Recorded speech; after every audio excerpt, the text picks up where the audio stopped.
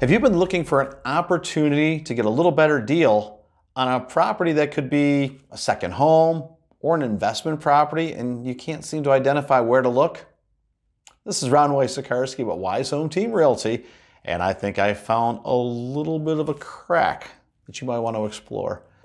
What we are finding right now is the Rolex races coming up, Daytona 500, Bike Week, cheerleading events are things we would normally see hundreds of thousands of people coming to the Daytona Beach area and surrounding areas. Uh, what we're finding right now is attendance is going to be a mere fraction of what it might normally be. And for those that currently own second homes that they also use for investment income, well, that ROI has been off for the last year. And maybe going forward, it's going to continue to be off. And I'm wondering if we were to identify some property that was being used as second home and also for investment opportunities for rent revenue that hit the market, would that be a more motivated seller than perhaps somebody who's living in the home um, that could stay there for you know the foreseeable future?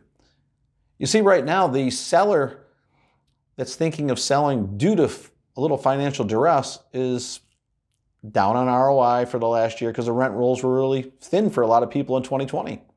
And if the major events are likely to be lightly attended, then that ROI, is going to be off, especially in the short term rental category. And if that very same person is also somewhat travel restricted, they may not be coming to the properties often either. Many of these properties were purchased with the intent of part-time staying in it on your own and renting it off to defer the expenses for taxes and insurance. And for many people, having a few rentals for the year in the big weeks could pay for the taxes and insurance for the year. Well, when you suddenly have perhaps mortgage payments, but definitely taxes, definitely insurance, and the monthly utility fees for the property, that's a check that those owners are writing every month.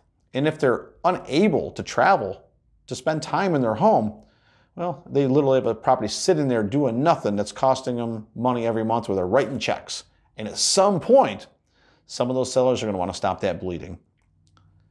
So when we identify a property that is vacant, been used in the past, and even mentions rental income opportunity for short-term rentals and an absentee owner, that might be the perceived weakness that we're looking for in this market for a supremely motivated seller. And you might have a chance to make a win on price.